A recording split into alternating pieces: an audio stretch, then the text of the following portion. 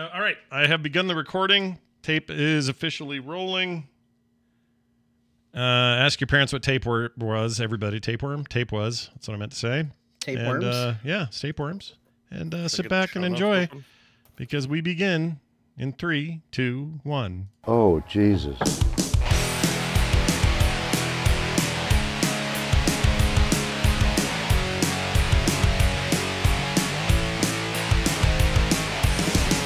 Hello and welcome to Core. This is Core episode 329, and this is uh, Thursday, August 25th, 2022. I'm Scott Johnson with Beau Schwartz and Jon Jagger, and we are here on your Gamescom week to sum up what the hell happened in Germany, what happened here, and what happened in our hands with our controllers and our keyboards and mice. So sit back and relax as we bring you another episode of Core. All right. So should we talk? We should talk about Gamescom a little bit. Um, it wasn't like earth shattering or anything, but the you know it's the world's only E3 like conference that's left. So we should you know en- uh, respect it, I suppose, for trying its best to be that thing. And uh, a lot of people like Gamescom. So if you went to Cologne, Germany, and got to see the whole thing, great, good on you. Uh, I'd love to hear from you and let us know what you saw on the floor. Otherwise, the rest of you just going to hear this little rundown. Uh, We'll start with whatever is everywhere. What? No. It's called everywhere. The name of the product is everywhere. Yeah, everywhere. Whatever that, whatever that is. Whatever Whatever that is is. everywhere. or Uh, everything. These are Is it everywhere? Everything. What's cool about the uh, it's everything. Everywhere? No, everywhere. Thank you. It's everywhere. Yeah. so the reason we're confused is because we have that movie out this year, Everything Always Everywhere at Once or whatever the hell it's called. What is it? This weekend, isn't? Oh no, oh, no, no, no. Sorry, that's um the, This the every- George Miller joint's out this weekend. Oh yeah, Why- that why is are we too. talking Uh, about the weekend? What's the weekend? No, the weekend. thousand years of uh, Cheerios, something like that. There you go. Was whatever it it's thousand called. years of waiting? I think. No, It's the, yeah, the that, but what's- Miller joint. But what's the one Yeah. with with Michelle Yeoh? Everything stuff? everywhere at once. Okay. You were right. I interrupted and contributed nothing. In fact, it was a net negative when I contributed to the whole thing. So Well, this game, down. uh, the, what makes this unique or interesting, perhaps, is it's the former lead director of all things GTA at uh, Rockstar. He left, started this new company, and this is their first game called Everywhere. And it's really hard to tell what the hell's going on, except it appears to be very multiversy. And uh, our main character uh, is jumping between worlds and doing who knows what. But my guess is, given the GTA uh, connection, this is probably very open world, uh, but not in a city or you know, uh, a sort of GTA style thing. It's, it's something more than that. So I don't know. they it looked cool. didn't say- they did not say what it was. No, not really. I mean, no, other than they showed the trailer and that was it. So we have no idea. But that has some pedigree to it. If you're, you know, if you like GTA, or even if you don't, you have to admit GTA's dominance is something to be reckoned with. So somebody with a lot of that experience might have something to bear. Uh, are either of you excited about what it could be? Because I kind of am, but I'm not I sure don't why. know. Yeah. Like I don't know. I don't know what it is. Yeah, gonna flat out say no and Uh. hope, to- hope to not be wrong. it's like a stupid thing to open the show with. I don't. I don't know anything about it. I feel like. I feel like when I opened the document and I saw everywhere, that was when I knew the most about it. yeah, And then I watched the trailer, and I now know less. yeah. You know, Roblo- less. it's Roblox. I mean, it looks like Oh, really? part of part of what they said was it can be anything. Like I think they want to build in deep game mechanics of some kind. Oh, I didn't gather it that. sounded at all. like ga- it could be, and they were like it could be anything. What the problem with that? Yeah. is- so uh, let's just start with the basics. I don't want to tell anyone I'm playing a game called Everywhere. You know what I mean? I'm just gonna play some Everywhere. Do you want to join me for some Everywhere? Like, do I want to even play something called that? Um, in terms of what it is, if you can't, if you can't tell me in a line what it is, like, okay, hang on, let me, let me back up. You can have a teaser trailer and be coy, right? I'm not telling you what it is. It's our company, and we're making this thing. But they did say it was something. This wasn't just show a trailer and let us guess and, and hype and, and, and, and look at it. It was like, no, this is going to be a thing that encompasses uh, deep. I think they mentioned RPG mechanics, role play mechanics. They didn't say anything like they didn't say anything about big multiplayer uh, user created content though, right? My guess is this might be GTA Online, but as a standalone product, Oh, interesting. which they should have said. Like I, I, you know, again, they were cagey about what it was, so Mhm.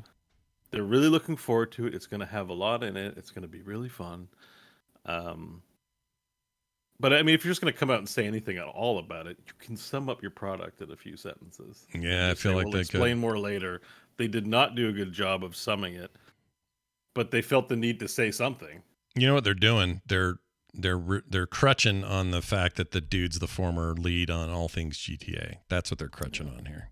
Yeah, because there's nothing else to talk about there. Like Yeah. even what Beau said is a, a guess. Yeah, like we don't know. I I don't know. You Like, I could we'll see- Mm, Like imagine GTA is like very specifically, or GTA Online, the RP community is very specifically, mhm. um, you know, cops and robbers stuff, right? There's Right. no, there's no Skyrim, you know, setting. There's no cyberpunk setting. There's no Final Fantasy ripoff setting, you know, or just anime weeb setting. It- you know, like, and my sense is that like this game, like, will have a bunch of assets, will provide you with all those opportunities, and might even provide services in those games to actually allow you to implement mechanics in those worlds because it looks multiplayer. This doesn't look like a single player joint. Does it? I couldn't tell. I don't know. Yeah, no, I think I think they mentioned that in the talk. They did if, say if I remember okay. correctly. I'm gonna be honest about this Gamescom thing. I didn't sit sit and watch it back to back. I watched it at two x speed, and as soon as something looked crappy, I just skipped it. so the whole experience was about 15 minutes for me. Mm, um, because, and I will explain why. Once I hit the award for most anticipated game, wait, they had awards? they Yeah. were giving awards. Oh, but I not missed for- that. I already missed- hate award shows, but Yeah. these awards were not for merit or accomplishment. They were just for who generated the most excitement about a product. And listen, it, the, the fun doesn't end there. The first one was most anticipated PC game. They listed three Metal Hellsinger, Warhammer 40k Dark Tide, and System Shock. Um, And where's so, Baldur's Gate three let's there? get let's get your pulse here. If you didn't see this or don't know, then uh, please take a guess as to who won the award and got to give an award speech Uh, and metal. got an award. Metal Hellsinger. Thing. They get it. Metal. Jon, Metal what, Hellsinger. what, what what, what would be your pick? Honestly, is it Metal Hellsinger? You think that's the most anticipated PC game? I'm just saying, right if now? I had to guess what weird thing got chosen, I would. I would. yeah, you're I don't- guessing the weird thing. What what is? Sorry, you're giving the award. What are you giving it to? I'm giving it to Baldur's Gate three. It's not even on that list. Sure, but of the ones on the list, what do you give? Give me those one more time. Please follow the rules, Scott. Give me the. Give me my on three. the list, which one are you giving it to? Think Gi- about it. Give me the three again. What was what's the list again? Warhammer 40k Dark Tide, Yeah, one we are anticipating. yeah, System Shock yeah. and Metal Hellsinger. Uh, probably. I mean, for me, Warhammer 40k. Uh, But that what do you think would be the right choice? Uh, that's the right choice. The choice they probably chose was either Hellsinger or the other one. If I had to guess. You are hedging way too hard. Jon, do you have an opinion on this? I don't know. I'd probably go with System Shock. I like the System All right. Shock games Thank- a lot. Thanks, Jon, for Yeah. for that concise response. I gave you an answer. I said I said Warhammer, and you said that wasn't good I, enough. I mean objectively speaking, not the one you like. The one objectively speaking, if you had to guess, the most anticipated, meaning the thing people are probably collectively looking forward to the most. If you're giving an award for this, so they gave it to System System Shock. I just I guess I'm saying I disagree. no, with that. so they didn't give it to System Shock. They gave it to Metal Hellsinger, Oh, geez. and I got really upset. I don't know what Metal Hellsinger is. Exactly. we, so- I know what it is, all but these, I only know all 'cause- these games yeah. are great. Okay, I'm sh- there's no shade on those games. You literally have Metal Hellsinger, a niche game. Warhammer Dark Tide, the one we probably all want the most out of that list, maybe. I, I don't see awarding it. You award it to System Shock. Why? Because it's a classic game that other games have been built on. You know what I mean? Like it just seemed like common sense to me, right? Like System Shock is. I just don't know why they're doing this at I all. haven't Oh, it's seen it for the decades. rhythm first-person shooter. Yeah, it's like Oh, all yeah. hell like doomish, With but metal. retro metal and but yeah, metal songs and yeah, it looks cool. Don't get me wrong, it does. And you know, Mhm. cha- chat room is all saying System System Shock. Like if you're if you're saying what is the most anticipated title, a title we've waited 20 years to see another entry in that that Bioshock was based on, the whole other genres, versus War Dark Tide. eh, It's niche. There's tons of those kinds of games, and Metal Hellsinger, something only people that are into metal or shooters know about, and hasn't made waves. The one you hear about is System Shock. To me, it's very obvious that it needs to be System Well, who? Shock. How are they picking? Who's picking? Someone I voting? don't know. I tuned out after that. I, it was, you know, and, and they had the audacity to bring that person up to give a speech. They're like, "Congratulations!" They're like, "Thank you very much for recognizing us." Blah blah. And I'm like, "You haven't accomplished anything. What do you get an award for?" like, you know, and and like, how did they me- how do they measure it? I am guessing like wish listing, but I wish list tons of things that I never buy. So, again, that's fooey, but That's coming to Game Pass, I think. or if it's voted on, it's voted by the most engaged people. It's actually not a litmus test. Like there's a there's a structural analysis you can do to say like the most anticipated game is 100% System Shock.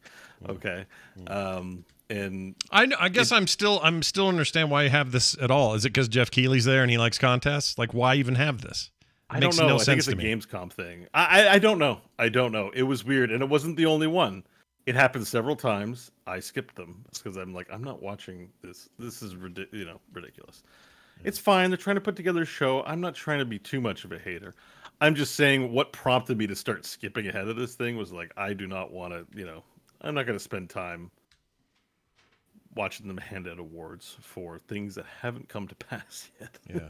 I you know like it it was i don't think it was well thought out as a thing so anyways all, just- to explain it's that. just and yes, it started with everywhere which was a very frustrating announcement I'm, it could be very excellent this could be the start of a new minecraft or roblox or some phenomenon has that guy's pedigree for sure Yeah. but the presentation was terrible in my opinion All right.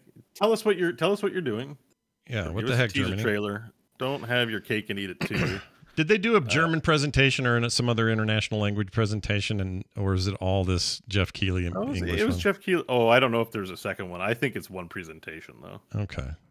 All right. I don't know if I love that either. I mean, also, well, uh, I haven't. I don't have any problem with Jeff Keighley. The guy works hard and loves games. It's great. But why is he everyone's seat? Why does he do every uh, one of these? Can we Well, get? he's can probably be one. affordable, and he's you know looks good on camera, and he does a good job. Why not? Like he's the best of the best. Is he though? because he's got a brand now, and like, the, like this is kind of Yeah, but there's. I mean, lots I've been putting people. myself out there, Scott. I made that joke about hosting the PC Gamer Show. Maybe someone will hear it and go, "Let's get that guy. Give him a try." Yeah, bring that dude. I will host your show. Okay, I'm looking at the, moderately well. I'm looking at some additional video from Hellsinger. It does look pretty rad. I'm just putting it out there. It looks pretty good. No, they all look rad, but this is not. This is yeah. This isn't designed not even the tenth- trash metal Hellsinger. It's just that if you were to name your most anticipated games, Mm, I don't think it would be in your top five. no, I wouldn't. Or be. guess what the the zeitgeists? Because this is about everybody. That's why it's stupid. That's why there's no point in this because everyone's got a different idea of what should be everyone's excitement. It's dumb. Yeah, It's dumb. I mean, Yeah. that's that, yeah. That's why. That's why I started skipping it. I'm like, I, I don't want to. I don't. I don't. Okay. Well, what did It- you this think? was made by somebody who doesn't play. It wasn't made by you know. Wasn't made by a Phil Spencer type. That's for sure. Well, what did you think of? Uh, what did you think of Dune Awakening? I think this looks pretty cool.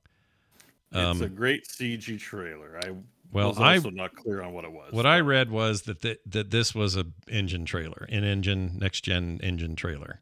If that's Oh, true, yeah. that has me more excited because visually this thing looks insane. Um, but I don't know if that's actually still the or if that's the case or if I read that somewhere that was full of shit. Who knows? But basically, the way they're describing this is Funcom doing this. They describe it as a survival MMO, MMO RPG.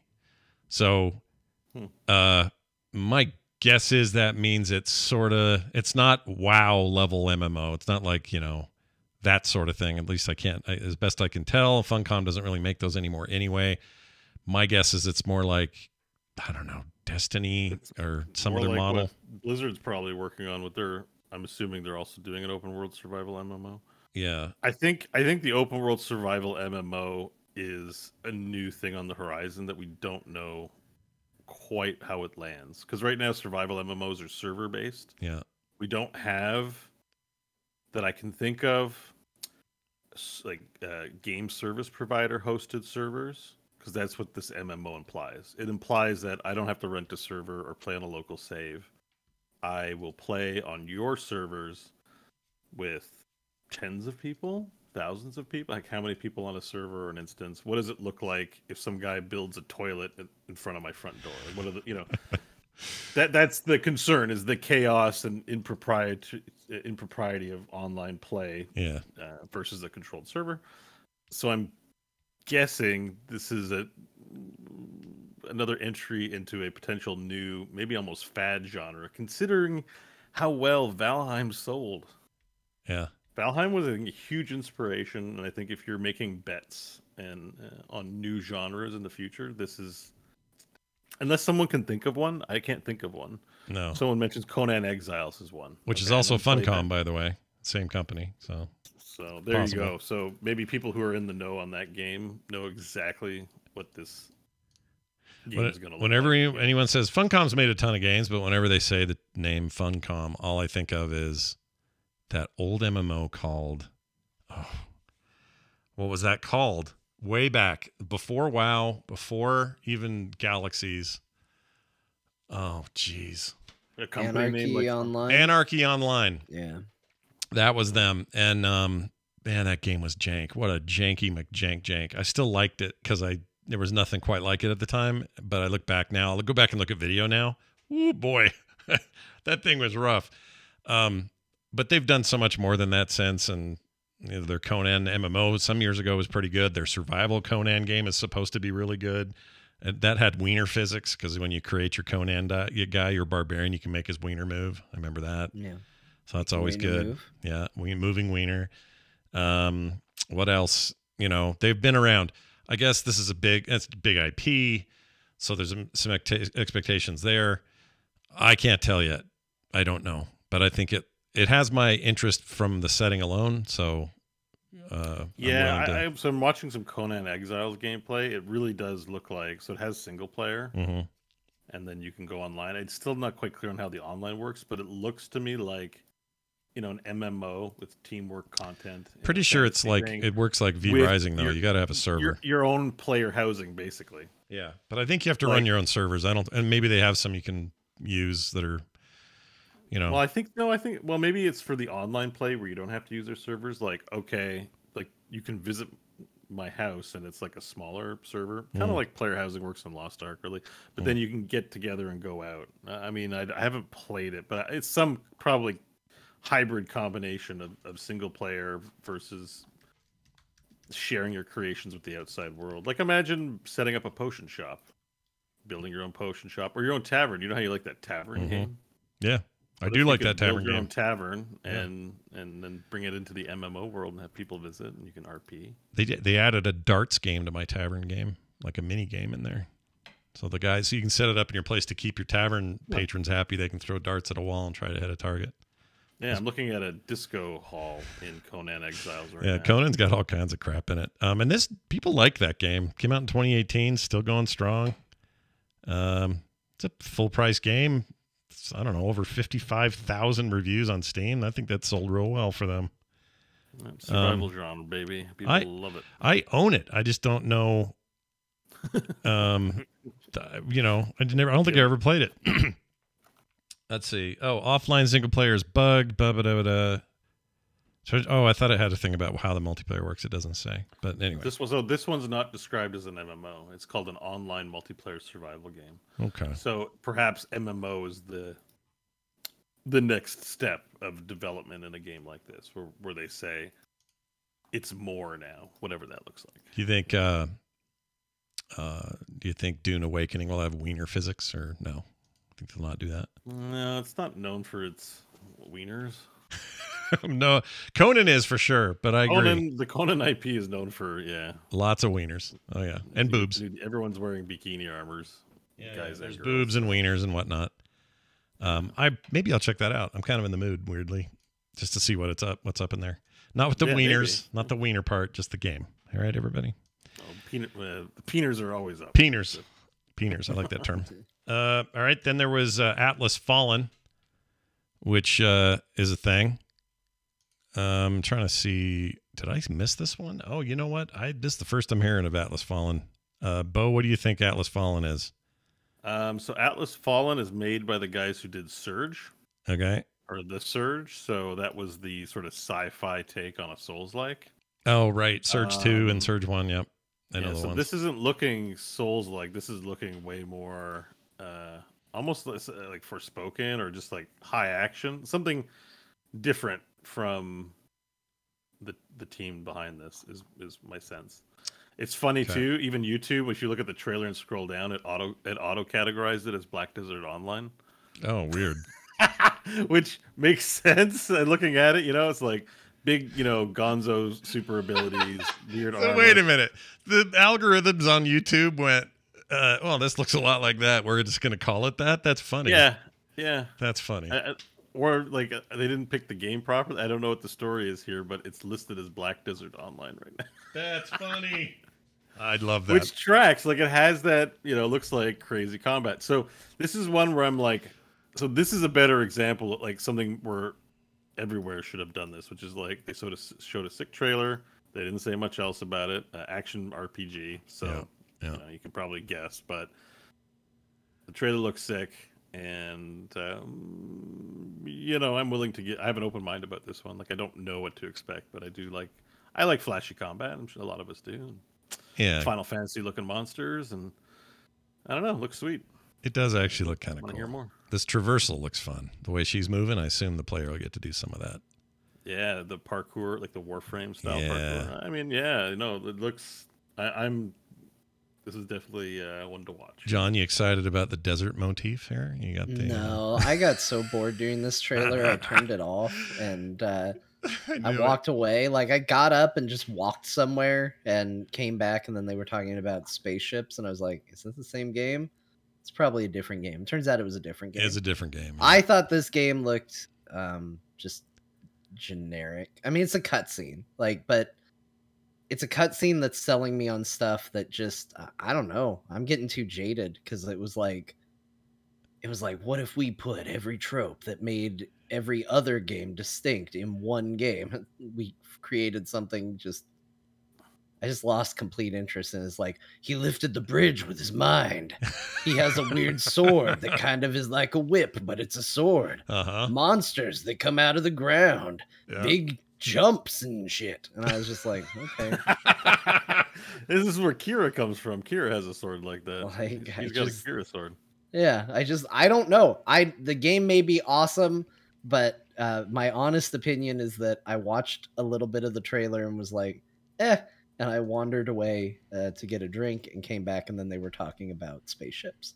I'm uh not quite where you are, but I guess I, I I didn't see anything here that blew my mind, but I do like the setting. I think it looks that looks really cool. I like the combination of what looks like some fantasy and some not steampunk, but you know, there's some machinery and business going on. Post-apocalyptic magic sort of setting. Yeah. hybrid. If you go Yeah. to two minute, I mean, what really sells me is the two minute forty mark, Mm. just towards the end of the trailer, when they just show a quick uh, smash cut of all the big abilities and the the tr- like the sliding, the sand sliding.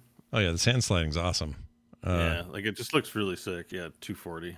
Uh, let's see here. 240. Here it is. Oh, yeah. At the end here, they have a little, uh, it's like a montage.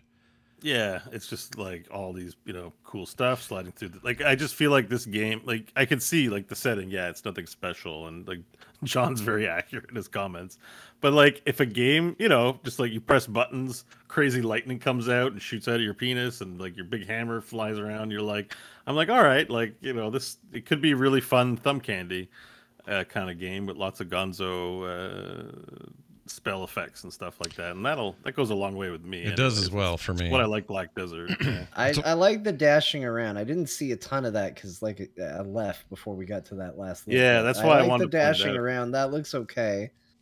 Um, yeah, I mean, it looks like it looks kind of fine. I mean, one of my favorite games is that uh, Fenyx Rising game that we played, Scott. We Yeah. raved about that, Great game. and I would have said the same thing about the gameplay for that. Like very early on, I was like, oh, it just kind of looks generic. Sometimes things arise above it, and this could be that, but uh, it didn't hold me through the trailer. Very well could be. Who knows till we Yeah. see. But um, my take is um, I'm probably a little fresh off of uh, Assassin's Creed Origins, which is also in the desert all the time, and also fighting big bosses, and also some of these stuff I'm seeing here. So for me, that actually really works because I enjoy the hell out of that. So if this is like a more actiony, less Souls-like experience, uh, not that Yeah, Souls-likes aren't action. It's not what I mean. At all. Yeah. Yeah, I, I think I think Jon's right about his comments just feeling a little bland. It's the last five seconds that made made me sit up on my chair and go, oh, oh, ooh, Yeah. ooh, oh, hmm, eh, hmm, hmm." this black desert thing is making me laugh though. Look at that right Yeah. there. Boom. Wrong looks like- category, dummies. Oh man.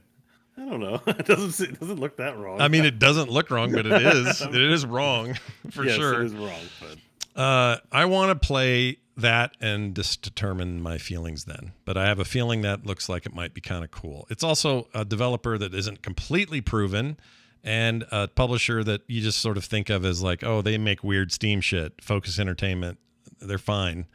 But like none of Well, they- this screams they AAA make to me. Plague Tale though. That's huge on consoles, right? Plague Tale is big, yeah. and they like make that. your hardship. Oh yeah, it's a weird Steam game. Gotcha. Yeah. still kind of a weird Steam game, you know, Hardship game. hardship game. It just sounds like a game that's about like just trials in life. Yeah. like got- uh, Oh, shipbreaker. Sorry, hardship. Shipbreaker. Oh, the hardship, hardship game. hardship you game. go, you break your leg on your way to pay your electric bill. Yeah, Oh it's a real no, what do. I do? I know. I can't afford both. Hard shit or Hard Space Shipbreaker, which I just call Shipbreaker, uh, is coming to Game Pass console in like a week. So that's cool. If you thought the PC people were having all the fun, you're going to get that on your console soon. Um, all right, moving on to Homeworld 3. I'm excited about this for one reason. First of all, I love Homeworld, but the main reason is I think this looks like way more of what I want out of a Homeworld game, and that is scale. Uh, previous to this, the other two were amazing games, but they were out in the middle of nowhere. Like they're just in space, which, you know, that's fine. It's a space RTS. But they always felt a little bit remote in that here's your giant ship that poops out the little ships. The little ships will fight and they'll go back to the big ship. This has stuff where the big sh- the big big ships are kind of everywhere and some of this fighting is happening over vast uh, structures of other ships and derelicts and stuff like that. It reminds me of, you know, everybody skimming on the top of the Death Star and then flying down into it. Uh, in particular, the unfinished Death Star. There's a bunch of that kind of vibe for me. But I love the Homeworld uh, vibe. Everything about the sound and music of those games is just like my jam. And I'm, I'm legitimately excited about three. So we'll see. Does anyone else care Yeah, about Homeworld but me, or am I the only Yeah. one? I mean, I want to. I I played Homeworld one and two. It was one of those where it was like I really want to get into this, and I just never fully did. Uh, but I love the style. I love the look of the world. Um, I always thought it was really cool, but it always felt like a really hard game to learn back in the day. Like it was, it was, uh, it was challenging for a young Jon to uh, get used to the controls and the 3D space for a strategy game. Uh, but I love how this looks. Like I think it looks so good. Um, and it's got all the things that you associate with Homeworld there. The like weird little rectangles that just Mhm. open up in space and then a ship flies through it. Uh, the trails coming off of the little ships, like that was always the big thing. Is it just looked like bees buzzing around ships in space back when you play the old game. Uh, I think it's really, I think it's really cool. Yeah. Finally, they're going back to it. They're not, you know, I think they did. Uh, didn't they make a Homeworld game that was just all on a planet? Uh, yeah, for some Ara- reason. or, um, not Arrakis, but it was like Arrakis. It was like a big uh, desert planet. You'd hate it because it's all Correct. desert. Yeah, yeah, just Correct. stupid, Correct. Correct. stupid stuff Correct. like that. It was good Uh, though. That Ron was a says, good game. Just say no to Kharak. yeah, but that was a good game, by the way. Like, Eh. I don't want to. I know you you were out of it from the get go, given the setting and everything, but it's actually a very good RTS. It's great. It's They're it's like, quite what good. if that amazing space real time strategy happened in the setting you hate most? Oh, on a and desert. it's not. It's not space. It's on the ground. It's never gonna It's work. It's like. Star Fox. Anytime they're like, "Hey, you're gonna be in the tank for this one," it's like, oh, that's why I got Star Fox. Thanks, you figured it out. Well, what if, Jon? What if they set it on a on a snow planet? Would you change your tune? Would you be like, I "Oh." would be. I'd still think it was a bad idea for your space real time strategy game to be like, let's drop space, Hmm. you know. But I would be more interested. You'd be more okay. So you'd still be out from a I don't want to play on the ground perspective, but more in given that there's it's snow and not dirt. Yeah, I just don't like deserts. We've talked about four games so far, and three of them are in deserts. Ugh. I love it. Love it. So you just live and grew up in one. I'm telling you. If well, so did I kind of, but I just love deserts. I love them. They're my favorite place to be. If I could live in the desert, I would. In fact, I think I hope I retire somewhere in like southern Utah where there's like just red rock for miles. Oh, oh, that's what I want, Jon. I don't want to live in Phoenix where it's hotter than my oven when I cook a turkey, but Yeah. uh, you know, something something a little less than that. Maybe St. George. We'll see. Uh, the Expanse, drummer, everyone's favorite. Whoops, I screwed that up. Everyone's favorite character from The Expanse, unless you're crazy. I love her. I don't know if she's not my favorite. Oh, she's easily She's my good. favorite. She's she's in the she's in the top for sure.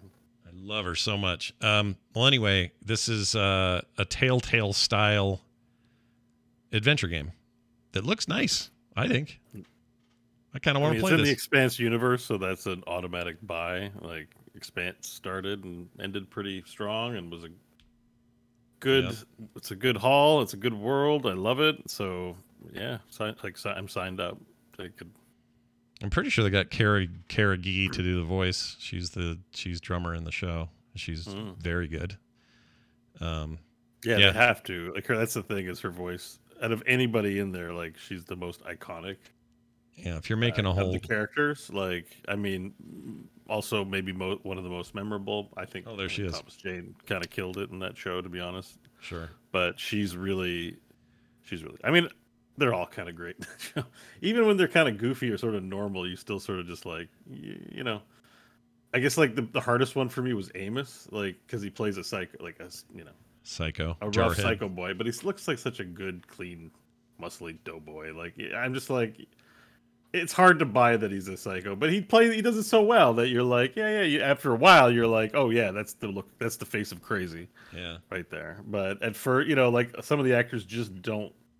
I think it's maybe to their credit, they don't look like their types, I suppose. yeah, I suppose so. And, and, and, and it it actually I don't know they they all do such a great job they win you over and I think the same is true of drummer where you're just like oh there's a fragile little girl I will say this too for a for a uh, for a Telltale game, these faces are way more emotive and natural. Yeah. They're known for being pretty stiff back in the day. So this Yeah. stuff looks all right. Ooh, heads look severed heads in space. yeah see I skipped past this one because I'm like I didn't want any spoilers on it like this is this is like a for sure hundred percent will buy like I don't need to see any more marketing Yeah, I'm actually kind of away into now. this. I'm Uh, excited. YouTube. Speaking of the things YouTube thinks stuff is, it thinks this is Mass Effect. Way to go, YouTube! Why are you auto-populate? Who's in charge of their social media accounts? Oh. Like, I know you can do that manually. They're letting the they're letting the computer decide. That's that's a bad idea. Don't be doing well, that. wait, hang on, what the expand? Because I, I just got them from wherever, so I don't know who's hosting. This is GameSpot. GameSpot, They should know better. GameSpot. yeah. should. Uh, all right, let's talk about Killer Clowns from Outer Space, a movie I've seen three times in my life. Once for Film Sack. Uh, it's an amazing, terrible '80s movie. I love Killer Clowns from Outer Space. I didn't expect to love that movie as much as I ended up loving that movie. I, I'm with it's you. It's really good. I'm with you 100. percent Oh, I wasn't sure if you guys would even know what this is because I put it in as a highlight because I remember I love Full Moon Studio movies all around, Yeah, and uh, I believe this was a Full Moon. Full joint. Moon Joint. Anyways, this is a, not my favorite of them, but definitely a good one. So Yeah, it's awesome. Killer Clowns is awesome, and it's stupid. And this actually kind of got me weirdly excited. I mean, do we know much about like what's going on though? Like what kind of game this is? Is it just a? This isn't. Is this a multiplayer like? uh uh, what's Uh, that game? Gather a team of survivors to fight the extraterrestrial threat in a game based on the 80s cult. sounds like A little like Left for not Left for Dead. Awake tomorrow, dead. Awake, die tonight. Wake up tomorrow. What is it? Dead by Daylight. Live free, die hard. Dead by Daylight, I think, is the thing I'm trying to think of. But it looks like it's a yeah, little more it does active. look like that. Like Yeah. you know what? This is great. I'm excited. It's not zombies. It's something different. It's something stupid. I love it. Game Pass, I think, too, which is always. Uh, I didn't think I was excited about anything from Gamescom. I just changed my mind. You take it back. You're in. I into got this. one I'm really excited about. All right. How about uh, where winds meet? All right. Now let's try not to be jaded old gamers who've heard every dumb title ever. Uh, I mean, I was immediately thought between the cheeks, but you know, That's where my win meets. Um, I don't know much about this other than it looks like a trippy, you know, I don't know, ghost story looking thing. I, I- don't know what to make of this one at all. So it looks like a thing. There's like some Asian uh, stuff. looks like what's the music video where the kids' eyes are all lit up? Oh, um, oh, uh, uh, You know, oh. there's a turn around. Do, do, do, do, do, I- little, yeah. little bit for the It looked like that. Yeah. turn around. What is that? I don't Song. know. I can't remember the name of the song. Anyway, there's a lot of Chad will know. Chad will figure it out. Chad's so on top of things. They'll tell. Total eclipse of the heart. That's what it was. Chat room calls this the Chinese Chinese Ghost of Tsushima is what they're calling this. Um, I'd be all right with that. That game's great. So I don't know what to make of this though. It seems too ghosty to me, like too like oh the myst- mysteries of the of of bullshit. Woo. I don't know. I don't know what to make of this one. Seems fine. Looks pretty. Seems nicely made. There's a guy walking around. He's got a horse. You know what else do you want? Oh, and he oh look at this him climbing, doing some uh, some Assassin's Creed business. All right, maybe it I'm, definitely looks like somebody saw the trailer for Ghost of Tsushima and was like, "We could do that too." Yeah. Ooh, Like, every on now and water. then, you just see you just see somebody be like, "What made that trailer good?" Well, we could do it too. We They're- can figure it. They're doing uh they're they're doing that crouching tiger hidden dragon bullshit. That's kind of cool. Where not you know wa- he can run on water. He just he just hung in the air forever. Uh, controls the wind. Yeah, I think that's probably going to be like a distinct thing from Ghost. Like I can see the comparison. Like it's obviously really good graphics and Yeah. Yeah, artistically comparison. focus on the uh, sword yeah. play. But yeah, I think it's going to do. What did you call it? What is it? Uh, I don't know. Mushu or something like that. I can't. There's like a name for what this is. I, I Oh. don't know what. I don't either. But like that that that crouching tiger hidden. You know that Chinese cinema style where they they go fighting and all of a sudden they're just flying in the air for no reason. And you're like, okay, well, Yeah. Why not? Yeah, why not? I mean, it's you know, i i this this looked this impressed me. I mean, it just it looked very cool. Doesn't mean I'll pick it up. I thought Ghost of Tsush- Tsushima was very impressive too. It But, is. um, It's very very impressive. This looks like in that vein. Is this an actual Chinese developer on this project? I I that was something a question I had. I wasn't sure if it was it was or not. I, I I'm sort of assuming so, but hang on, Hmm. Look it up. that Sucker Punch took some heat for being, you know, Americans making this game, but they also involved a ton of Japanese. Well, all the actors are Japanese. Well, it's Japan. It's like it's Japan. Well, I mean, you know, they can make a movie about Americans if they want. Like, uh, you know, no one's Sure like, they can. Japan's punching down on U.S. Uh, I don't really, you know, it's one thing if you're actually appropriating something inappropriate, but if you just make a, yeah, that's, it's okay to make a movie set in another country. Like, I agree. I as agree. a default baseline, what you just look at is like the privilege that's involved in what you're making. Most most uh, most anime is they're all supposed to look like us, which weirds me out because they never Right. do. But right. yeah, I don't Yeah, like like think of like Japan like appropriates the crap out of Americans. They got baseball, they like cowboys. Like it's cool. Like this is equal footing exchange as far as I'm concerned. Yeah, but is it punching down when we do it because we nuked them at one point? you know what I mean? Like we actually dropped the world's first nuclear bombs on uh, their on their country. So are we all, are we in a permanent position of I just I don't think we keep score that way because I'm sure they scored some. I'm sure scores were had both ways because you wouldn't have done that if there weren't. You know what I mean? Like yeah? I think it's better just to be peaceful and say, we'll adopt the cool things from your culture and you can adopt the cool things from ours. I don't, yeah.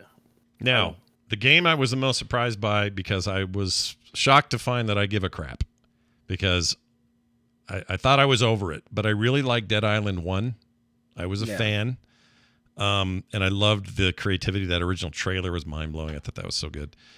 Uh, and I really liked the trailer for this. It made me want Love, Death, and Robots to do like a 20 minute treatment of this or something, or a full half hour, an hour, or whatever. Because uh, there's there's some story here I want to know. I don't know how much the game gets into it, but basically, video game uh, Kravitz. What's his name? I can't think of his name. Lenny Kravitz. That's what he looks like. Video game Lenny Kravitz is uh, hanging around his oh apartment. Um, at first, he's breathing ragged, so you think he's an undead, but nope, he's just been partying all night. And he goes digging through the house looking for stuff. And then you notice that a bunch of people are dead there. Uh, uh you know, zom- zombified or killed otherwise. And then he goes outside and kills a bunch of zombies. And it's all done to some great music. If I played here, I'd get banned from Twitch, so I won't. Um, anyway, I'm weirdly compelled to get excited and play this game when it comes out. I don't know anything about it other than, you know, I know what the first one was, but that's so long ago. Like they're going to be something different here. Well, um, I mean, they, there was a trailer before this for Dead Island 2 that was also so long ago. Yeah, forever. Like, like, I don't know if you remember the original one with the guy running as he slowly became a zombie and then at the end i think like jack black sounded like stole his shoes at the very end. Yeah. Like, oh yeah. I forgot about that. That was years ago. It was a long time ago. Oh weird. That's a yeah you're not wrong. This is the ago. same game. It's been a long ass time. Yeah and they got a release yeah. of next year. They also i don't know if you guys read too much about this but amazon's got a new technology they want to license to everybody. That makes it so you can control a bunch of shit in game doesn't cost you anything. You just try it. I will definitely try this. I don't i don't give it much of a life but it's a little gimmicky. But you can with an amazon echo or any device that supports the service games that support it you can with voice commands tell stuff to happen. So instead of you taking four clicks to get to a dialogue tree you'll just answer a guy. So he'll say oh, you have, have you been to the woods to see the witch or whatever? And your answer would be, you would literally say, I haven't been there yet. What's going on? And the thing would be smart enough to know what to tell you next. There's a bunch of talk about that. Whether that thing is anything any good or not, I don't know until we get it. This is the first game to support it, is my point. Hmm. So, however it's integrated, my guess is it'll be a neat trick that no one will use, and we'll move on. I got to watch Beau uh, try to be Dovahkiin by actually talking into his uh, Skyrim. It worked really great. Well, that is interesting because that's the mod doing that, right? That wasn't built into. Well, okay, so there's a deeper explanation with that. You've got to train your your computer to recognize your voice and your meanings. Yeah, which I've only partially done. So I gotcha. But still, it wasn't Skyrim vanilla that that was included in. It doesn't. It doesn't work the best until it. You know, there's still room for these things to improve on. Yeah, but it's a mod, right? Is what I'm saying. No, it's a VoiceAttack. It's an it, actually that's not a mod. That is um Wait, so uh, Skyrim 2011. So have you ever heard it like Elite this is big in Elite Dangerous because even before VR was a thing in Elite Dangerous, it's yeah. still fun to control your ship by going, "Ship, please turn on the shields." And this was something I used in in Elite Dangerous a long time ago. Um it's so VoiceAttack it's on Steam. It's it's a software that, you know, allows you to input specific commands to do button presses in games. Uh, there's now an open source free one called Voice Macros. So it's just voice macros. Okay. What I downloaded that from the mod site, but is not a mod, is a definition pack. Mm. So I don't have to program all the words myself and program all the button presses. And what this actually is, how deep this is programmed, is that I don't have to equip the shout. You know, in the game, you have to equip the shout and then mm-hmm. use it. Mm-hmm. It auto equips it through button presses uses the shout, then equips what you previously had on it. So it's like you don't even have all you have to do is shout. It's on paper, it's amazing. yes, but it's a it, very very cool idea. I watched Beau in the early stages of execution on it, and I was cracking up laughing at how how it worked. Well, I was I, I was learning it. The RP matched because I'm still learning how to shout properly, and I was also learning how to use voice macro. Like what? Fus? No, fus. The the funniest part about it was that it clearly had been mapped to Beau's speaking voice, but not his game playing voice. Because what would happen is he would go, "Is this working?" Fus Ro, and he'd just talk normal, and then there'd be like a two, like a half a second delay, and then you'd see Fus, and it would shoot out, mm-hmm. and then you'd be like, "Yeah, it's working," and they go, "Okay, say it." And instead of saying it the way he literally just said it, because now he's immersed, he goes, Fus roll! And it doesn't recognize it, so it doesn't do anything at all. And then he goes, Fus Ro! He does it again, yells again. Yeah. And then he goes, I don't think this is working. Fus Ro. It shoots out again. He's like, Oh no, it's working. Okay, say it. Fus Ro and changes his voice again every single time. That's amazing. I want to hear more that, about that when you talk about what you play. But my my original point, I still haven't got an answer for it. When you could, when you went in 2011 to buy any version of Skyrim, it didn't include voice commands, right? That wasn't part of it. This is all add-on shit. Vo- voice Yes. attack, all of it is add-on. It's okay. never been in the native in the game. So Okay. you're saying Amazon will give you this native in the game? Yes, it's native in this game. It has to be. Any game that supports it, it will be native, um, and it will be Oh. Entirely. It has to be.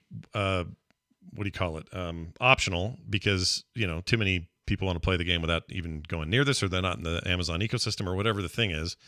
So it will be playable no matter what. But I'm curious just how much it will matter. Like I was talking to Tom on the Daily Tech News show about this. If you're going to reload a weapon and it's just an X button that you push on your controller versus you going reload, I think the button's faster. You know, Yeah. like and maybe also, not by much, It, that doesn't add any level of immersion. Like what Beau described with Skyrim right? is not only immersive, but also useful because you've got this whole selection of shouts, which is supposed to be your voice. But you got to go and equip it. You know, all right, to select the right one, and then I got to hit the button. Like it's not immersive at all. Being able to actually yell the things uh, that adds to the immersion. It adds to the world. Mhm. Like playing a video game and go, reload the gun, and then he reloads the gun. I'm like, oh, I'm so immersed Yeah, that's weird. Because that's like what that. I do constantly. If I was in a zombie situation, I'd be sitting there going, reload. Well, we don't we don't know what Shoot. the um, we don't know what the context of it is yet in this game, but my guess is it's things like talk to the NPC and get through dialogue choices and say where's my next quest, and the guy says it's over there. This sort of stuff. Oh yeah, I had a mod. There's a mod for that, but um, I turned it off because it was behaving weird. It was Mm. But but I, I have played with that. That's cool. That's a good use. Yeah, it's it'll be interesting. I'm I'm more interested in games that are built around it because Yeah. then then you know then that's all it is. But I don't think anyone's going to do that. It's like Kinect making Kinect games back in the day or making Sony PlayStation Move games. You had to live with whatever small percentage of the user base bought the extra stuff for Oh, you know real I know money. why. I, tur- I know why I turned it off because that stuff's well and good if you're playing on your own, but if you're streaming, you're like, "So chat room, how's it going?" And it's like blink, blink, blink, blink, and you're like, your weapons are changing, and you're just like, "What the hell, man?" It's not smart enough not to filter through all your non-gaming stuff. Yeah. and even it, it was like turning on randomly you can like say don't listen to me and then you'll say like hey chat room and it'll turn it back on and start listening and you're like you're listening again equip arrows like it was just going nuts Well, so. the chat the chat may have just given us a hint as to where this is coming from from Amazon because Am- Amazon has that version of Skyrim that's purely a voice controlled Skyrim thing. Yeah. well, um, i'm curious how good is how well trained is alexa I do don't know. I don't know. I mean, it's I mean it's pretty good for what it is, but so is you know most of these voice things understand people pretty well. But the the real question is how, like Jon says, how much immersion will it create? I don't know. It really depends on the context and how they use it. And if it's just reload my gun, forget it. I'm not into it. But we won't know until later. People are automatically very cynical about it. I get it. It's a big co- company like Amazon trying to force some tech down your throat, pretending they know how gamers think. Like, I get it. I know why we get skeptical well, yeah sure things. when they come out and support and full support of nfts and metaverse you get your defenses up but Yeah. Did Amazon do that? I didn't know that. Were they big? were well, they- just jet broadly speaking, right? Oh, okay. companies have all these harebrained ideas they try to sell you on. You're like, I don't like, you know. yeah. There's a time we're having a f- uh, camera on your phone. People are like, so unnecessary to have a camera on your phone. Now it's like, find a phone with that one. you Yeah, what I it's mean? almost it's necessary. It's unnecessary to ever need any other camera but the one on your It's just everyone's used to it. No one's going to take an issue with it. Yeah. Like maybe mean, they don't I- use it, but yeah. I know Nintendo talked about it before it was out. So it's not like, you know, we were just shocked. We went to the store and we are like, what's this? But like to me, I think the most effective uses of technology and like cool innovations, like the way you see it is somebody just puts it out and you're like, oh shit, that's amazing. Like the Rumble Pack, right? Mm, good like example, what yeah. a a good thing that's very easy to laugh at. Like you look at how big the package is for the game, and you're like, "The hell did I just buy?" You plug it in, you're like, "Well, great, my controller weighs four more pounds. This is exciting. Yeah. I'm gonna get carpal tunnel playing this game.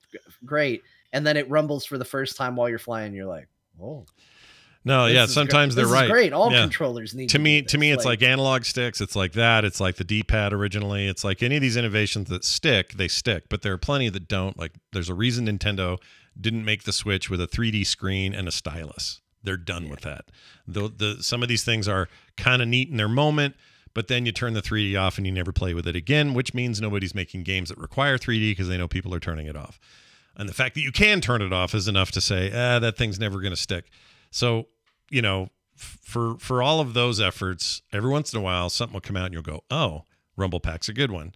Um, dual stick controllers are a good one. I happen to think the sony rumble pack uh, what, what, what do they call it?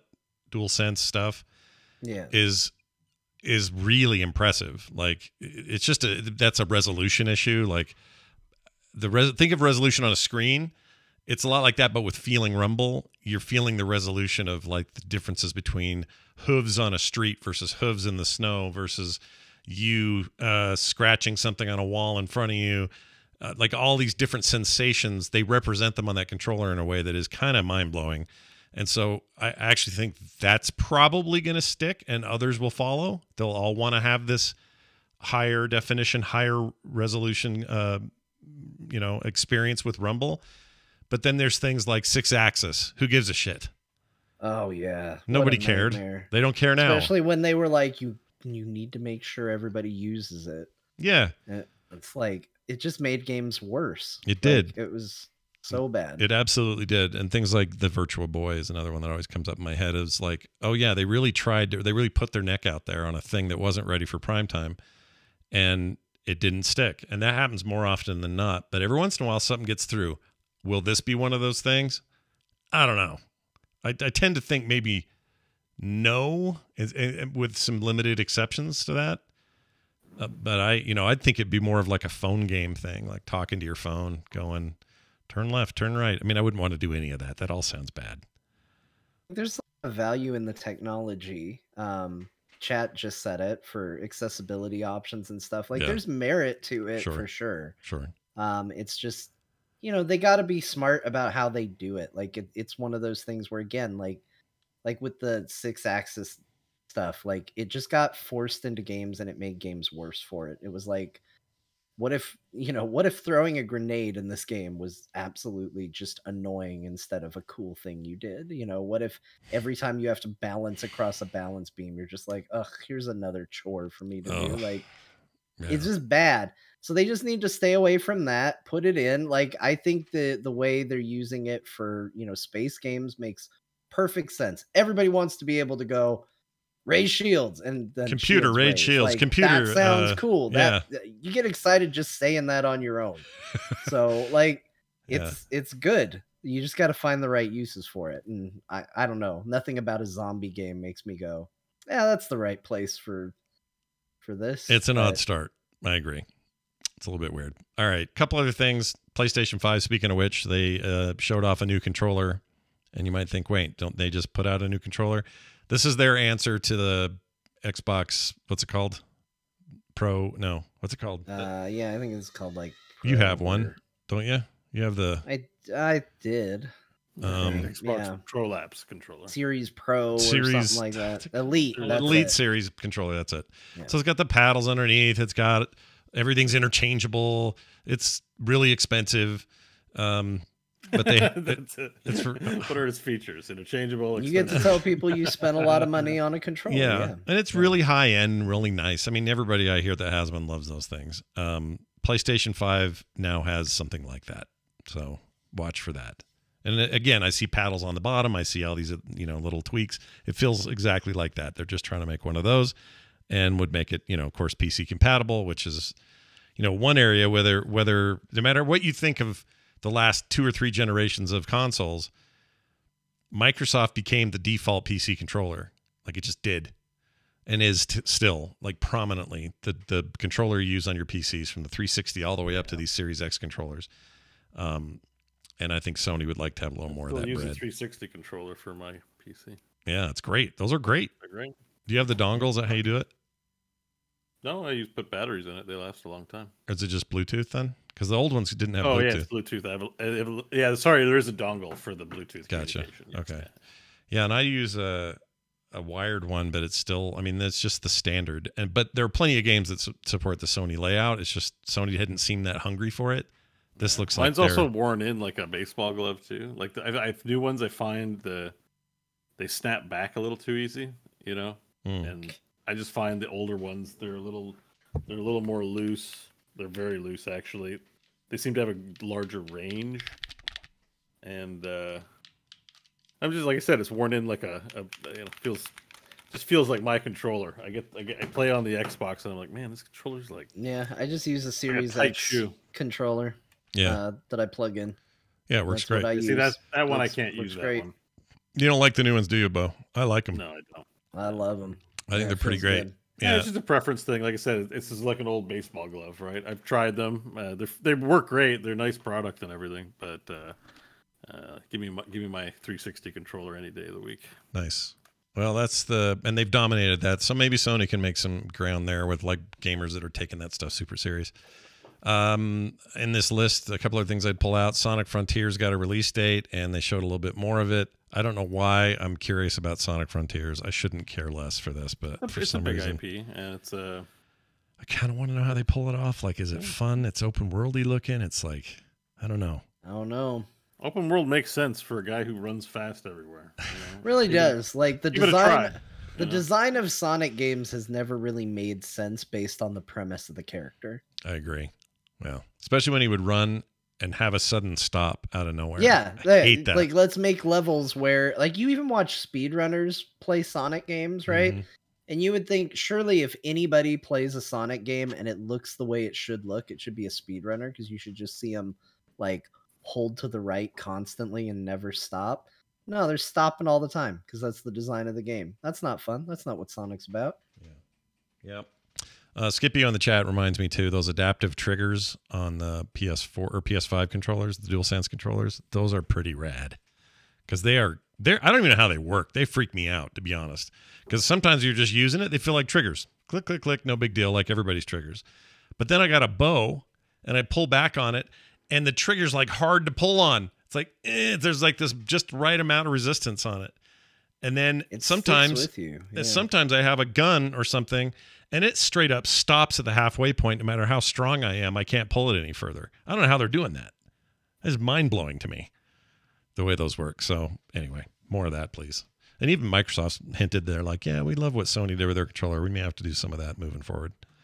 Yeah, because that's get what a Phil- new Xbox controller at some point. I'm sure. That's what Phil You know, says. lift that idea. Yeah.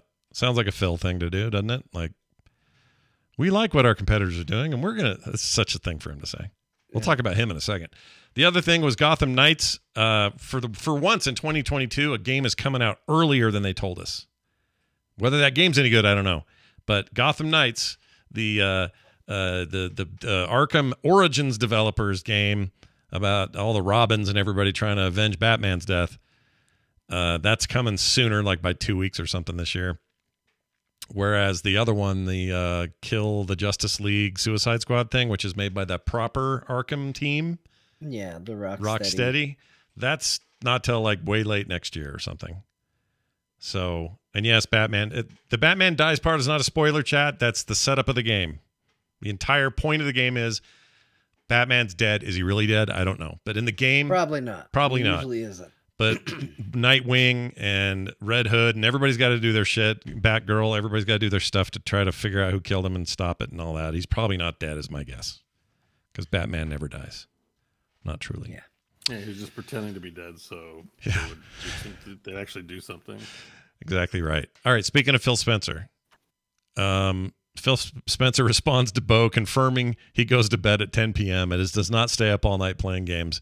His friends tease him for being a bedtime lameo. Yeah, so he did an interview on Bloomberg, and this is the, one of the first things that came up. He's like, "I just want to say, I just want to say, he didn't name me, but I know he was talking to me because I said it. he looks like he stays up all night playing games. Yeah. It felt so. Phil, if you're listening, sorry about saying you, you shit your pants at night. I just, you know, you you still feel like one of us, but uh, okay.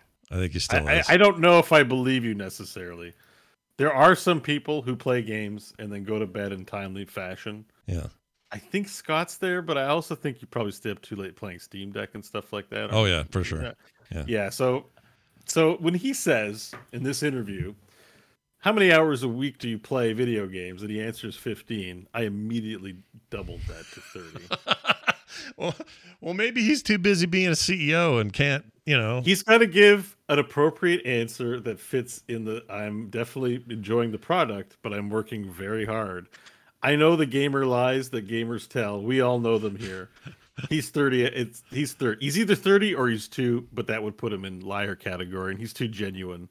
I I think he's just he is too genuine. That's what makes his salesmanship as a CEO so palatable and good. Yeah. Um, that there is some realness behind all of that. And um, anyways, anyway, sorry Phil for casting aspersions. I was glad to hear your friends roast you for going to bed so early. Sure. Just because you're a CEO of Xbox doesn't mean.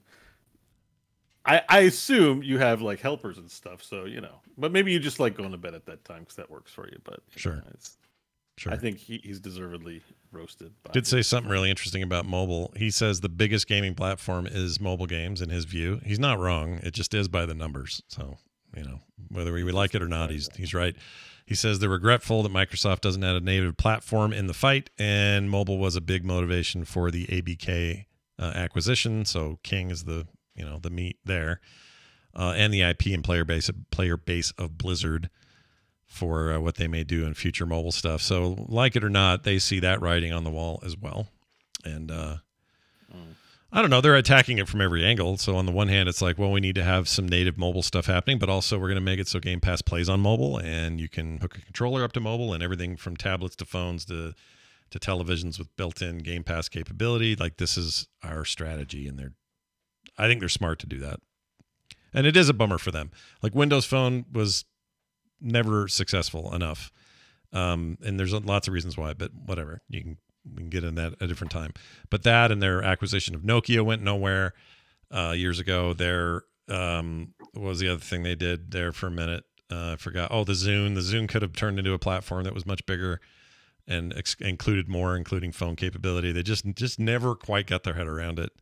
I'd say it worked out for them pretty well because the advantage is they can come out and be like, yeah, we don't want to be platform native because they're not massively invested in, in selling their own platform. right? Yeah, they used to be, but they actually had hardware they had to ship. Yeah. The guys in the hardware part of the company are not going to be pleased with Phil Spencer going like, "Eh, play it on whatever," you know. Like they want to succeed too, probably, and uh, so, so it it sort of just makes, uh, in in a way, you you always lament, you know, maybe like what isn't working well, but I think this is actually an advantage for Microsoft currently. So It's a good take. Um, he also reconcer- or reconfirmed his basic take on exclusivity. I actually really like this quote, so I'm going to read it. He says, Your two kids want to play together, but they bought the wrong piece of plastic, and that sucks. Reducing friction should be the top goal of any gaming of the gaming industry. Unquote. I I agree with him, dude. Make it less hard for people to play and save and move and all that. I'm I'm a big fan of this sort of thing. Nothing makes me sadder than a brand new cool looking game on Steam. And I'm like, man, I'm gonna get that. And then I find out it doesn't have Steam Cloud Save yet or something. And I'm just immediately annoyed because now I'm like, well, I I want to take that with me and play it on my desktop, and I Yeah. can't.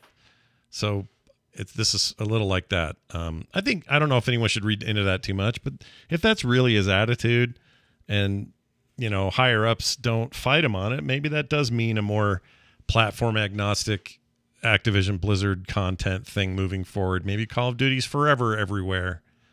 I Um, think again, it's their situation that puts them in that boat, though, because um, they have the they have like a lot the back end on the cloud, right? Like they're positioned in such a way that they're not coming out and saying something like this is not harming any part of their business. yeah, You know, I think if they were deep on, like you might say they're deep on their Xboxes, uh, but I, I don't. th- those are loss leaders. Their bread is not buttered on those machines. They only give those machines out so they can get Game Pass on it, or the bread is buttered. But if Game Pass, you know, if their service can be everywhere, then why not? I don't know. Judging by how TV went, I think the I think the Game Pass thing is a limited window of opportunity for them.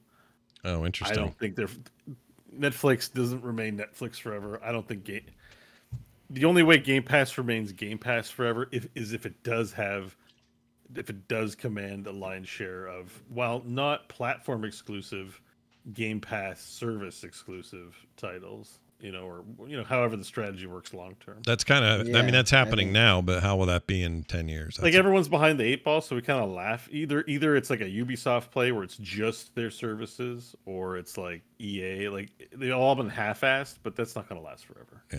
That- that- Yeah, that- I saw a lot of cynicism about this quote, uh, saying like, you know, he says that he, you know, wants to reduce uh, friction, let everybody play together. Meanwhile, Microsoft's buying up exclusives left and right. But I think to Beau's point, I think that that is like future plans because I, I think he's right. I think eventually, as people realize more and more that subscription plans are a, a good way to get your products out there, when that happens, Netflix is judged based on what it brings to the table. Like it's Netflix exclusives, whether that's what they have exclusive streaming rights to or what their originals are. And I think it would be foolish for Microsoft to just be like, well, no, we're the only one really doing it right now. So we don't need to worry about any exclusivity because we'll all play nice together, I'm sure. Yeah. So I, I don't really I it's a fair criticism to be like, oh yeah, you're all play together, then why are you making all these purchases and acquisitions? But I also think it's realistic uh, to just the direction that the business is moving into. Yeah, I agree. He declined to comment about Bobby Kotick getting booted out of ABK, ABK or not. Um, that bummed me out a little bit. Also, that stuff's ongoing. I don't think they. I mean, that's just lawyer stuff. You. Yeah, they haven't you- even acquired him, so I don't Yeah. I don't think they could make that. Yeah, he doesn't. He doesn't get to talk about that stuff yet.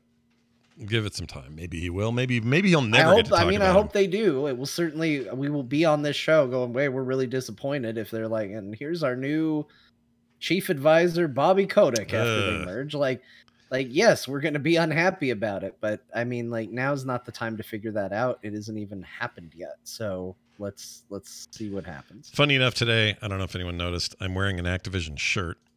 Um, Hmm. It actually was given to me by a tech who worked for Activision uh, in on the back end of things, and uh, had to defend it twice today on stream. So I'll just get out ahead of it now and just say it's a really comfortable shirt, and maybe they're being sold into better hands. And this in no way endorses Bobby Kotick as a decent human being. Oh, Okay? people are taking it as a signal that you're like, I, do- I, Poor guy pro- pro- purchased pro by Bobby. Activision. I'd Look wear a shirt. That I would stop short of. There are very few things I wouldn't wear in a shirt because who cares? you're It's a damn pro, shirt. you're pro union busting and pro workplace sexual Right. harassment. I mean, I agree it's stupid, but also, yeah, that, that uh, there's a lot of stupid people out there. Yeah, and I'm not advertising it. I'm just wearing a shirt that I happen to have in my closet. Honestly, that's how it works with me. If I had a shirt Well, with uh, yeah. with uh, Hello Kitty on it and it was comfortable, I'd be, I'd be wearing it. Hell oh, care. I worked at a GameStop for years. I wore nothing but video game advertisement shirts for a long time. I didn't have to buy clothes for so long. They just sent promo material after promo material. It was always shorts or, or, or shirts. Uh, sometimes shorts. The underwear was sent out. Whoa. Sometimes What was the what was the underwear? Like a Nintendo, like Kirby Uh, underwear? What or was what? it? What it was that it wasn't Ghosts and Goblins, but it was that game that was trying to be in the vein of it, like Maximus. Uh, and like the whole idea was he got hit and his armor would fall off, like the old Ghosts and Goblins game, Mhm. and he'd just be running around in underwear. So they sent pairs of boxers to everybody. that makes sense. Sure. The most comfortable shirt that I had, and I took like four of them, was uh, for Metroid Prime. It was this green, like military style t shirt. And I don't know what they made those out of, but they stretched just right and they were incredibly comfortable. I would love that. I I know that I had at least three of those shirts, and two of them eventually had to get thrown out simply because you could see straight through the shirt. I wore it so much. So Uh, those were the best. That So was the best. So you were out nippling when you in those shirts, and eventually your mom's like, "Dude, oh no, this had been after that. You weren't your mom. You weren't answering to your mom at that point. I don't think. I might have been A little bit. still GameStop era. Yeah, like because I, Jon? was living at home for a couple years. I can see I can see your areola again through your prime shirt. Time to Yeah. time to put that away. Anyway, uh, let's see what else he say. Uh, oh, I like this. Talked about metaverse. Uh, gamers have already been in the metaverse for the past thirty years. Was his answer?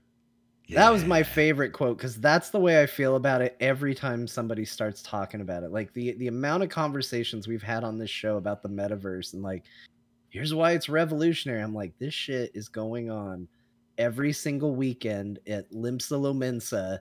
Go hang out, talk to somebody. You'll get invited to a bar where everybody's RPing and hanging out and doing the stuff that they do. Like this stuff is literally everywhere. It's been going on for a long time. You don't need VR to do it. It probably adds a new level of immersion, sure, but it's been around. Well, in in theory, they're talking about everything's connected metaverse because that's the whole definition of metaverse. So the idea would be you could go from your Limsa Lominsa, whatever the hell you say it, Yeah, Uh, you got it right, actually. It you can go- job. you can go from that sex party and then just transition straight over into uh, whatever World of Warcraft's what's theirs um uh, the place Goldshire? Goldshire, Goldshire, go straight into the Yeah. Goldshire debauchery and then you're like you know I'm I'm kind of in the mood to walk around Conan land and then you could do that immediately like I mean, That- you can do that on your computer. You can, Yeah, you I- can have them both open at the same time. But I know what you called mean. You know what I mean. I've installed multiple games on it. what they before and what they want i agree with you guys that, it's, that that we've been doing it in chunks and we are we understand the idea of what the community part of it means more than they do on a corporate level 100% i agree however to be fair uh, they're talking about two things one metaverse meaning the it's an it's a universe fully connected in the way our physical world is but in in cyber world space Yeah, But they also the mean- operating system. but they also mean who's going to own it that's also what they're talking about and who's going to make the most money V- if VR becomes a mainstay, there's going to be an operating system for for it. yeah That's what the metaverse is code for. That Yeah, It's that is whatever kinda what Microsoft Windows Windows commands a lot of. It has a lot of market share, a lot of influence. A lot of businesses use it. Zuckerberg Big wants to be that, by the way. That's what they That- want to so be. So metaverse is code for operating system. Yeah. Like, and the idea of an operating system on a headset is not what it looks like on a PC. Obviously, there's programming and stuff going on behind the scenes, but you as a user, when you use your operating system, you click shiny buttons. Ooh, what? Here's a button. It opens my browser. So, in what does that look like? Are you gonna have just shiny buttons in the metaverse? We're still figuring out the best way to use your elect your digital device in the VR space. Yeah.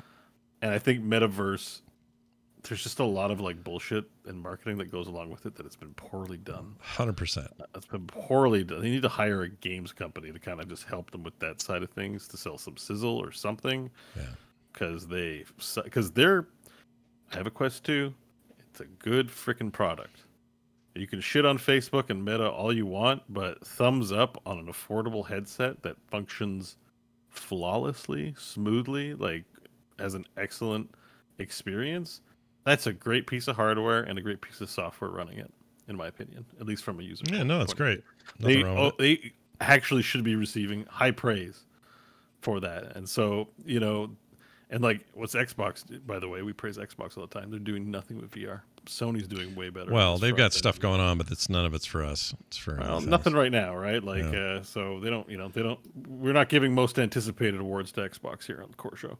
But um but but Facebook has, uh, Meta has done a phenomenal job of the hardware and is still doing. I'm looking forward to seeing their new headsets.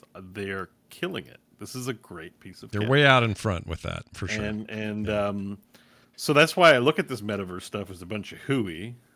That they, they just need to hire a team to market this better. Like whatever strategy is going on there sucks.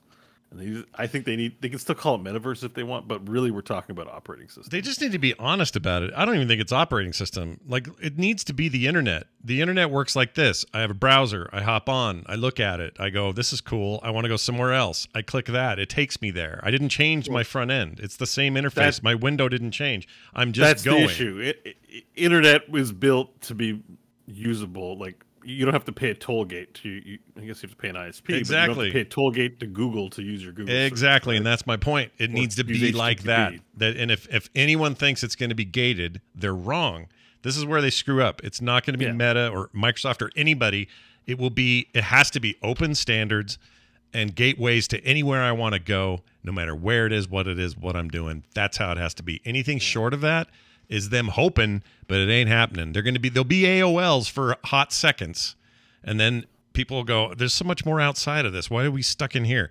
It'll be a new That's language. happening. You won't have frogpants.com. You'll have frogpants.world. Yeah, I'm ready. People will, when they want to find your content, they'll go to Frogpants. They'll be greeted by your beautiful drawings, and they can, whatever. If, if barfing is the way we control things, they can barf their way to the page they want, and they go bah, and then, then that picks the the changes the world dynamically around them, and you'll see other people barfing. Like it'll be.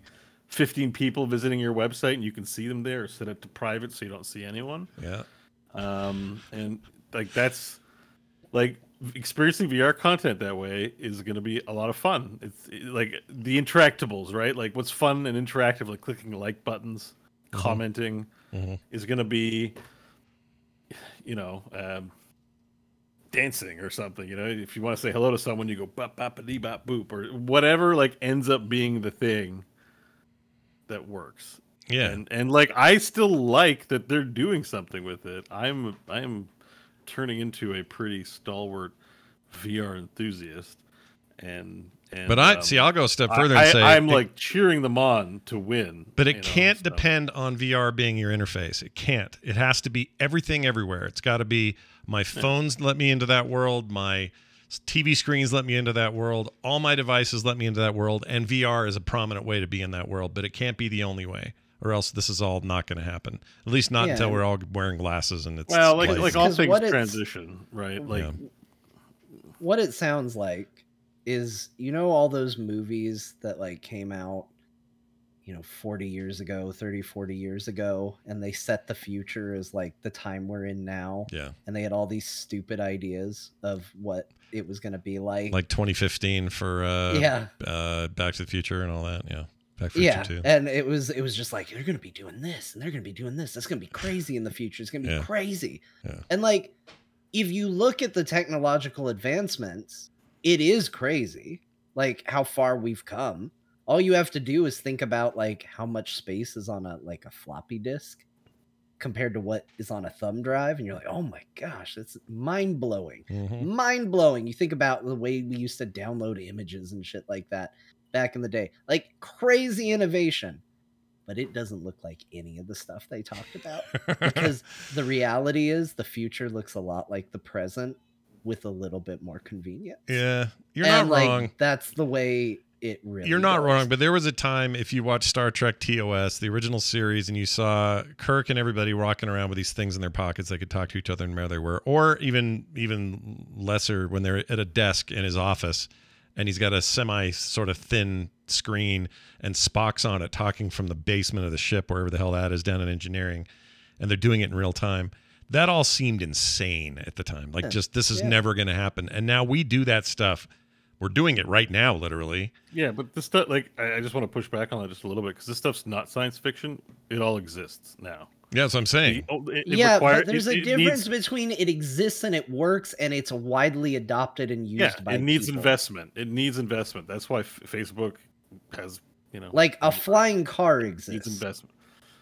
Right, but it actually this it's actually function. It exists like VR chat. It's a yes, thing. a All flying need. car exists. It, it's real. It No, exists. It's real. It's not You a just compa- it's not an acceptable get one. comparison. Like a flying car exists, but is riddled with problems. VR chat exists and doesn't have pro. It works. Like you're, you, we're this is apples and oranges. What it needs is infrastructure and some investment. We got to get the headset weight down. We got to slowly. It's gonna be slowly. There are a lot of people like VR super dumb. A lot of people thought internet was dumb. All the like, I was. It was a niche thing. Now everyone's got a computer or phone. Like, so we can. I there are good use cases to sit on your couch, toss on your glasses instead of a big headset, shop on Walmart for thirty minutes, and have an interactive experience with other people. Like I, I that is not outside. That is not science fiction. That is like in, just you know you can do that stuff now. Much investment away, Mhm. and that'll be a thing. And You're like totally right. phones can convert into, um, you know, cardboardy uh, VR headset. What if the phones in the next ten years come equipped with some ability to strap it onto your face? What if your phone is your pair of glasses? Like you, you through bone conduction, you might even be able to strap on the glasses, make a phone, have a video phone call in a virtual space, take the glasses off. Like that is not far away. It's just investment in becoming the incumbent for the infrastructure. Because you're right, it's not adopted widely yet. It also depends on the practice. But it's like it's like you can see it on the horizon. We're Yeah. not we're not talking about flying cars you're- with you're totally right. the laws of physics and, and like the reality of, of accidents. yeah. Um, we're it's actually available. We just need. I think we the bandwidth could still be increased because we're going to be sending more information, and then we need the headsets to be able to process a little more data to increase the fidelity. I find fidelity quite low, and that's part of the issue. yeah, for sure. All of that's all, everything you Like- said is the true. drives. But the drives got smaller. Yeah, The but there's still a processing power will get practicality issue here, and that's the one I that's the one thing I have a hard time putting my finger on because I'm I like VR a lot. I'm a proponent. Uh, I just think that It's it's more days. it's more than just hey uh, one one huge aspect is that they're going to get small enough thin enough. I totally agree. They, that needs Yeah. to just keep happening until they're almost like putting on a pair of Ray Bans and you're and you're in. Sure. If they weigh as much as this, yeah, like a pair of Ray Bans Yeah. or a little heavier, but Yeah. still, Even then, I think they have to be. They just got to keep getting smaller I feel lighter. like they easily could. I feel like the most obvious connection is we've got all this cloud computing business where it's like put the graphic load on these processors that could in theory have unlimited, you know, yield as long as you have a good strong connection. You connect that to how important mobile infrastructure is and how fast it's getting and all of a sudden now you have a device that all it needs to do is be able to display over the glasses and have a strong enough internet connection to connect to something far more powerful running in the background and you've got 90% of what you need in just that situation.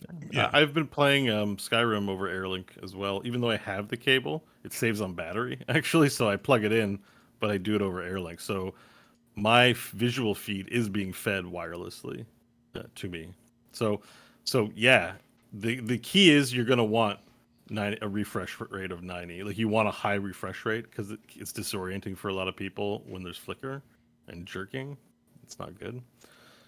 But yeah, it's not we're, we're, you're we're not far. Uh, you're not there's wrong. Definitely investment and progress needed, but we are not far out. we're from it. there we're almost there my again my whole thing though is it will it will all come down to what's convenient for people but not just that like if it's going to become a part of our life in the way our phones have and the way the internet has then it has to be applied to life in ways that make sense and aren't just people sitting vegging on their couch and not doing anything just like spending all their time in vr i don't think that ends up being the future at I, all I, I, I actually disagree. I've had my VR headset. I play a lot of stuff seated. I sit down. I sit down. And I last night I log, I played Skyrim for hours, and I was like, oh, let me log off. And then I actually put the headset back on, and I got lost down a K-pop rabbit hole. Because you're looking for side uh, side by side videos, and something entertaining I discovered is Korea's really embraced um, VR video. Like it's hard to find it, just entertaining YouTube stuff. Like I, this show would, you know, I'd, I'd watch something like this if it was in VR video. Like I, I want to see the 3Dness, I want the quality. And then I found that the dance troops, like the K-pop dance troops, will actually do like a one-off VR video, and it's you're like it's like you're right there on stage with them, watching them dance, feeling them in that 3D space. Sorry, feeling sounds gross. I just mean like you're you're you're feeling it's just hits different when both eyes are getting the stereo vision. It just it works. I agree, but And you're you're not. you but that that's not my know? point. My point isn't those things work. They do work. What I'm saying Yeah. is you won't work if if all you do is spend time in there, and not just you. I oh, mean, Well, they said everybody. that about internet, like World of Warcraft. Man, you're gonna lose your job. no, I agree. I agree, know, but like, that's my point. Whatever's not about sustainable is sustainable, and at some point, at some point, the idea that all we are is in there, I don't think that ever happens. I just don't see. No, it. no, no. I think the use cases you strap on your headset, you do a bit of shopping, play a game, and like you might use your phone and put it away, you know. And then there might be Insta- VR Instagram, and so yes, your teenagers are on VR Instagram too long, taking VR photos of each other or something. But uh, you know, That's why most companies are betting on mixed, like AR and VR mixed stuff. Yeah, I really want a. VR camera. I just think it's too expensive, but it's at some point VR cameras will also be more ubiquitous. So not only imagine taking a snapshot because you don't have to take video. You can just take a 3D snapshot of your family Yeah. and put on your thing and look at your family VR photos. And it's like it's a little more mm, than an actual photo. It just hits different. We'll never. I don't think we'll ever get rid of flat screen stuff. That's the you know. I don't Yeah. think it's like a A or B. I think it's we have both. But Yeah. uh, VR photos are nice, and VR videos nice. Also, um, what was I gonna say? The uh, I forget. But anyways, it's it's uh, I th- oh right because um the camera thing too will really make it interesting. So if you have your VR phone room or something like that, so you can Sure. see someone in full body image. You know, like who knows what the conventions of tomorrow will be, but this stuff will could potentially become. Oh, that's what I want to bring up is is films. We also don't have a film language. This is the most exciting thing about VR, is that you know we have a film language. Mhm. Like if you see something framed improperly, maybe you don't. Art- if you didn't go to film school or something, I don't know. You can't articulate what you don't like about it, but someone didn't follow the rules of filmmaking as they've been carried out. Like, we don't have that for what a dramatic presentation in VR looks like and I find that exciting. Almost like there's a part of me like, oh, I want to become a VR theoretician. And certainly, you see those experiments on VR video sites where people are trying to make weird narrative things Mhm. and still don't know quite how to approach it. Like, do you include the viewer? Is the viewer just a voyeur, and you build the drama around it so they can like? How does this all work? So, there's like, it's like when movies were first made, people were theorizing how to make the first movies, and you know, like uh, Eisenstein is one that comes to mind in the 1920s. He made Battleship Potemkin. Russian filmmaker wrote books theorizing that cuts uh, juxt uh, two disparate images next to each other synthesized into a third idea that wasn't literally being displayed and there's like a film theory behind how you are working along with the film to create a thought that isn't actually on the picture based on the cuts and that you could change shot two to other things and change the context. And you're like well that's very basic isn't that filmmaking? But like they had to theorize that this would be a standard through which we would enjoy film as a narrative experience. And i think that's it's exciting. That doesn't exist for vr right now you know? And i'm like it's exciting to be like holy shit like we're at a moment where um you know these kinds of things can be invented Yeah, there's there's going to be a lot of stuff that happens. I'm not sure they'll ever find it. The problem with VR video in a uh, or the, the reason film language works for us as story loving creatures is there's a focus to everything. So when we're meant to be listening to somebody, we're focused on them. And if something happens off screen, that's discordant. So moving over here to see what happened is is a tense moment, but you're always being led down a pipe with linear storytelling. And when you talk about VR or potentially VR storytelling and film or whatever, this the the technology is all about anywhere all anywhere I want to be all the time. So if I get bored with what this guy's saying, I can turn around over here and walk over and see what the dog's doing. So it ends up becoming not completely non-linear, even though they're still trying to tell you a story. How are you going to? yeah be, like that's like an interactive experience i'm talking about strictly a passive video experience What Yeah, that but that's look what I like? does mean. Like, what what is even because anything anything that's directed isn't really a VR experience. You're just on rails, right? You're yeah, just like like all movies and TV shows are on rails. Yeah. but you can have those experiences with a different format of filmmaking. Like, imagine it's a movie about a couple arguing. I think there's one called Divorce Story, for example, and it's told through shots. What is that movie? How is that movie just as impactful, or is that experience if you're literally sitting between two adults arguing and they're performing to such a degree that it's like a real video, a real story? But like, do you tell it in cuts? Like, how does that? What doesn't exist a, a standard through which we tell uh, filmic uh, tales with VR cameras, and uh, you know, so because what you're talking about is like interactivity, which is also, you know, my computer I can watch a movie, but I can play a video game or visit a website, and those are like distinct activities. But film is film, and I think there will still be video in VR. It'll be VR video, but we don't have a VR film language yet. Yeah, even I've in video very- games, I've seen some very bad ones. even when video games go speak in the language of film, they stop and tell us something. You know, they don't. It's it's me running around as Bayek in uh, the old, you know, ancient Egypt, doing lots of random things, anything I want to do. But the minute I talk to that lady, camera switches. She talks to me, I talk to her. It switches back and forth. I can't control. I can speed it up and get out of there, or cancel it, or whatever. But if I want to listen to that story, it's being told in this traditional way. It will be really interesting to see how that evolves because yeah. Sometimes you're in a set piece in a video game like halo 3 the final sequence where you're in the warthog trying to get out of there and you're missing all those those panels that are falling away and if anyone remembers that i don't for some reason i totally remember it um and i think it was three not two but anyway that's that's a very filmic moment or very epic moment that's happening in real time all around you. Uh, the Nathan Drake games are like that too. Lots of shit falling apart, things exploding. You just you hope you're going the right direction. That's cinematic, but it feels like there we have more to explore there. Like other Yeah, ways to yeah. figure out what the hell our brains want to see in this. It's super interesting. Uh, Even just because what resonated with what you said there was you have a shot of somebody and then somebody else and they're talking and you get that it's a conversation. That had to be invented. Just two Yeah. people talking. Yeah. Like there was a point in time where we had film, but we never put them together to make people talk and it be a thing.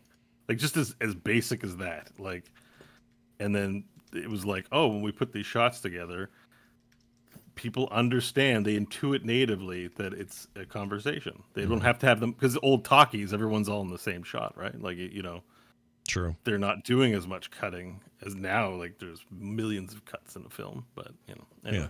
It's uh, Um, I'm, I'm excited about VR, and you know, uh, Phil didn't really talk about it, so that sucked. But but we did. but overall, it was still great. So I don't mean to. We really, I don't really mean to take away from his. No, it's all good. He he. Uh, I like this thing he said about NFTs. He says he's cautious on them. Says, "quote It creates a worker force out of the players," and mentioned this has also existed already, aka gold farmers.